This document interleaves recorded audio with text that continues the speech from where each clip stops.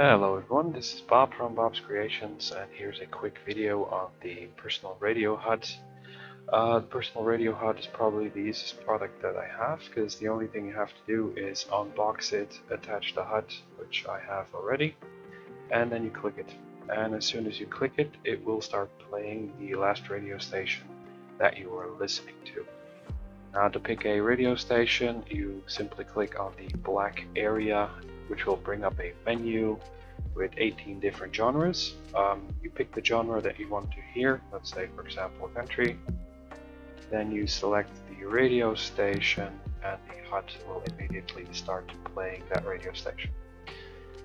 Um, in addition, you can adjust the volume on the HUD or you can pause it.